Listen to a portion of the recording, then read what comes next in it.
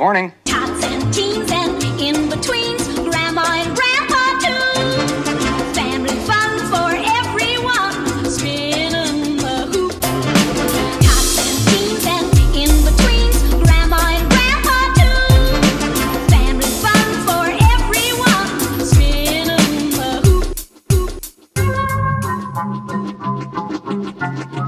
This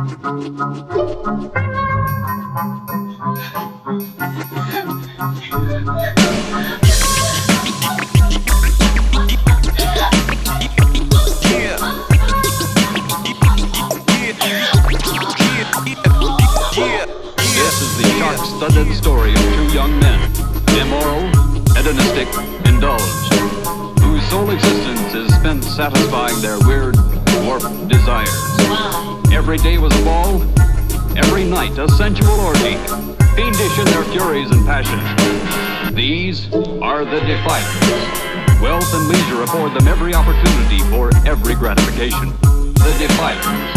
A shattering study of the sick set for shock-proof adults. The defilers. Everything they touch is stained. Sated with sex, liquor, and drugs. What else could they try in their crazed pursuit of chicks?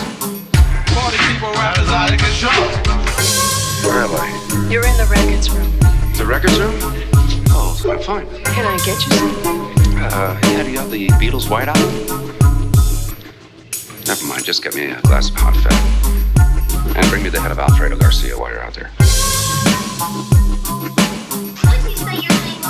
The defilers. Nurse, I'm a hum. I'm hyperventilating. Would you get me a paper bag, please? Yes, right away.